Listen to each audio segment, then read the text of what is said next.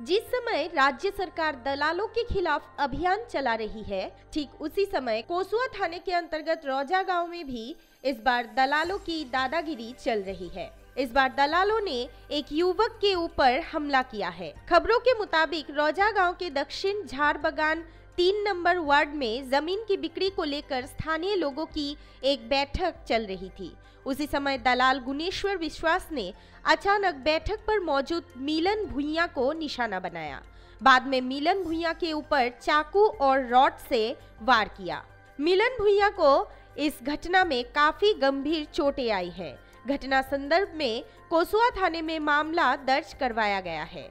Police घटना की जाँच जारी रखे हुए है। गौरतलब है कि जमीन दलालों पर राज्य सरकार की कार्रवाई के दौरान रोजा गांव में हुई इस घटना से काफी जानकारी सामने आने की संभावना की जा रही है মান বজাত দক্ষিণ জোৰবাগানৰ তিনি নম্বৰ ৱাৰ্ডত এ, এজন ব্যক্তিৰ ঘৰত এটা ঘৰুৱা আলোচনা আছিল তাতে কেইজনমান ৰাইজ গোট খোৱাৰ কথা আছিল আৰু সেই মৰ্মে মোক বি ডি পি ছেক্ৰেটেৰীয়ে অহাকালি মাতিছিল তাত যাবৰ কাৰণে আৰু মই তাত গৈছিলোঁ আৰু এটা সৰু মানে এটা বিশেষ ঘৰুৱা এটা আলোচনা আছিল।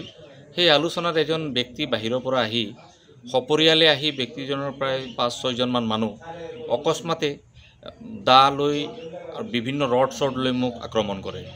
আৰু বিভিন্ন জেগাত বিভিন্ন জেগাত মানে আপোনাৰ ক্ষতিসাধন কৰে। শৰীৰৰ বিভিন্ন জেগাত চোট দিয়ে। দাৰ ঘাপ মাৰিছিল। সেইটো বি ডি পি ছেক্ৰেটেৰীয়ে ধৰিলে। আৰু কিছুমান ভয়ানক ভয়ানক অস্ত্ৰ দি পেলাই মানে আপোনাৰ লাখতি ৰড এনেকুৱা দি পেলাই মাৰিছে গাত। তো ৰাইজৰ মাজত ৰাইজে ধৰা মিলাকে ৰখাইছে। নহ'লেতো কালি যিকোনো মানে ঘটনা ঘটি গ'লেহেঁতেন কালি ৰাইজৰ মাজত। কালি হয়তো মোক মাৰি পেলোৱাৰ প্লেনিং এটা লৈছিলে। আৰু এইটো কিছুমান দুষ্ট চক্ৰৰ মানুহৰ দ্বাৰাই হৈছে নেকি মই সন্দেহ মানে কৰিছোঁ। আৰু বিশেষকৈ মই প্ৰশাসনক আৰু এজাহাৰ দিছে। এজাহাৰ দিছোঁ আৰু প্ৰশাসনে আজি আহিছিল। সিহঁতক গোটেই ইনভেষ্টিগেশ্যন কৰিছে ৰাইজৰ মানুহে ইনভেষ্টিগেশ্যন গোটেইখিনি যিবিলাক চাইছিল দেখা মানুহখিনি সম্পূৰ্ণকৈ কৈছে। আৰু মই আস্থা বিচাৰিছোঁ মানে প্ৰশাসনৰ পৰা যাতে অতি শীঘ্ৰে এই দোষীক কৰায়ত্ব কৰে। নহ'লে কালি মোৰ পৰিয়ালটো আজি মোৰ অবিহনে কোনো নাই অকলে মই অকলশৰীয়া ল'ৰা।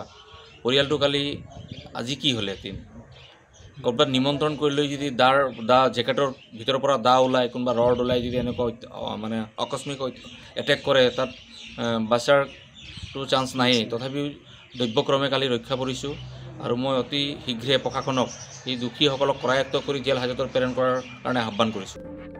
কামপুৰ চে ৰূপজ্যোতি ভূঞাকী ৰিপৰ্ট আছমাদিত্যা